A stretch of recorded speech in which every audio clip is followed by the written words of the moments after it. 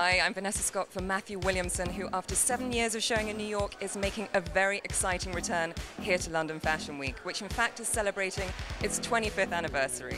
So, welcome to Matthew Williamson, Spring Summer 2010. Matthew, great to have you back at London Fashion Week exactly two years after your 10th anniversary. Why did you want to be here this season?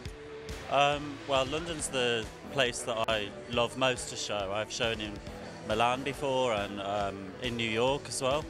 And it's just a great city. There's lots of energy here, and it's a really great place to show. It's the 25 year anniversary of London Fashion Week, so I was very kindly invited to come back and, and help celebrate. This collection is about the evolution of the Matthew Williamson woman. Who is she this season?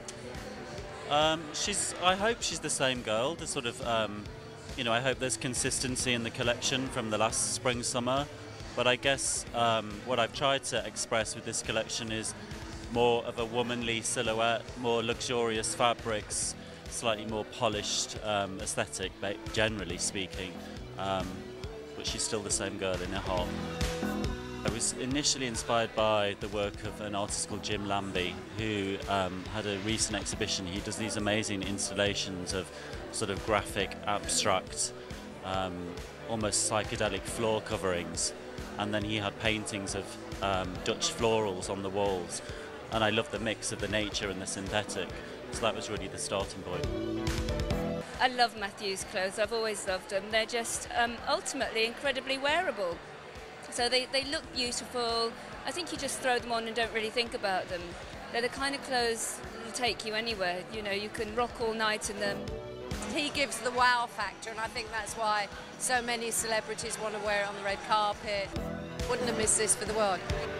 When I first met Matthew, he sort of changed the, my viewpoint of myself and my identity and the fact that femininity was probably the most powerful tool I actually had because I was always this androgynous creature.